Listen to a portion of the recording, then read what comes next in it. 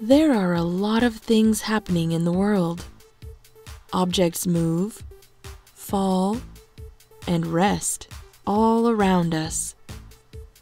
You may think you understand why things move or don't move.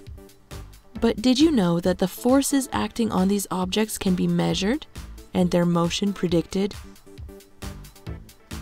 Renowned English scientist Sir Isaac Newton wanted to understand the world better. He thought he could describe the movements of the universe through mathematical observation.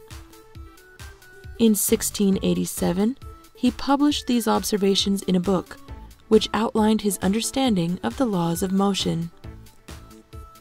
These three laws of motion are still in use today and can help us understand the relationship between a body and the forces acting on it. Newton's first law of motion is often stated as an object in motion will stay in motion, and an object at rest will stay at rest unless acted upon by an outside force. This law is also called the law of inertia, since inertia is the tendency of an object to keep doing what it's doing. You have experienced Newton's first law if you have ever used a swing on a playground. In order to start swinging, you have to use a lot of force, but once you get going, it can be hard to stop. Here on Earth, there are some forces working on objects all the time. When you throw a ball upward, it doesn't keep going up forever because the force of gravity pulls it downward. Once it hits the ground, friction, or resistance caused by surfaces rubbing together, will eventually bring it to a stop.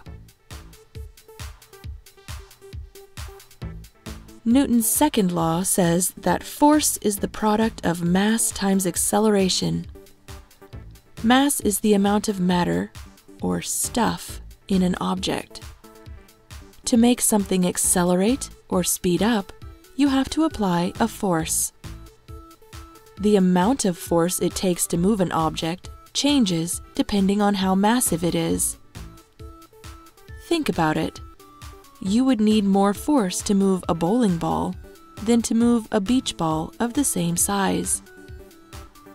The greater the mass of the object, the more force it will take to accelerate the object, and applying more force will make the object move faster.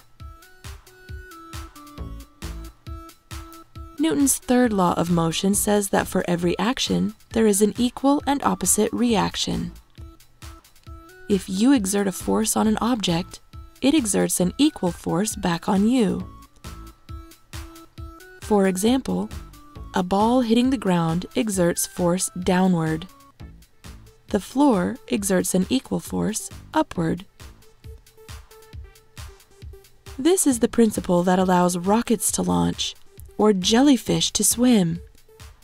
By exerting a force downward, an equal and opposite force pushes upward, and the object accelerates. We can also see the third law in action when birds fly. Their wings press down against the air. The air pushes up against their wings, allowing them to move upwards. Another good example of this law is skateboarding. The skater pushes backwards against the ground with their foot. The ground pushes forward with equal force.